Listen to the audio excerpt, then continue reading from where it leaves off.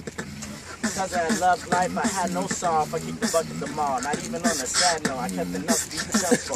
Life's a rush, having a blast like gunpowder in the gate, yo. Knowing like when it wrong, bitches cool in my tighter. Like tiptoes on hot coals, I walk on the wild side, playing with fire. Spark insanity, man, I'm a bonfire. My line surefire.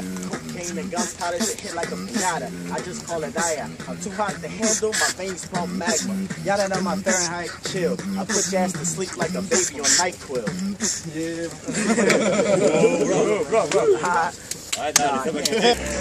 Just, just a bit, bit. Good, man.